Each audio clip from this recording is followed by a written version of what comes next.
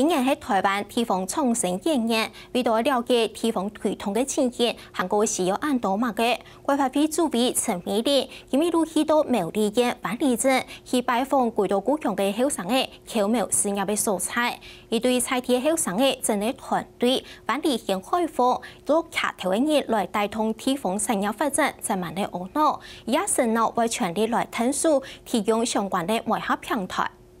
在讲，我们开出了第三种公共空间，那个公共空间让大家有对话、有认识、有交流，他才会对这个地方、对院里有认同。万里现台风从派人林小鹏透过简报来说明地方转故乡的青年，用上来透过语文发通、一通出版刊物等的方式来检测地乡亲的向心力。并推广万里小景特色的新目的墙，来受到国发会主委秦美玲的认同。你们所做的就是跟我们现在在推的地方创生是完全符合的，但是我现在就是要去知道你们还有哪一些缺的地方，需要说公部门能够补足的，或者我们可以去媒合民间来协助你们的，那这个部分我们把它补起来，这样子。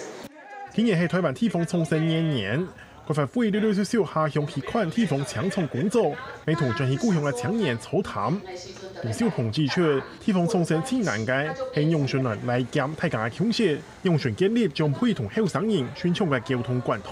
甚至将会系计划当中当重要嘅一部分。院里这边地方或者苗栗工作的年轻人，他能够知道彼此在干什么，有形成一个网络。而这个网络彼此互相支持之外，如何呃有更多的，不论是政府部门也好，还是老人家也好，知道年轻人在做什么事情，也给他们支持，那就很像我们呃院里这个地方令草编织的概念，彼此互相成为一个支持的力量，那人才会留得住。秦美玲强调，万里现海风唔单止延续万里嘅菜地文化。同时，未退休地方产业推广，系地方创新今后嘅根本。国发会未会尽量来退休，希望未经用传统直接经费补助嘅方式，改用投资让硬体建设，为地方创新发挥生态嘅效果。客家新闻用二诺，有啲冇头。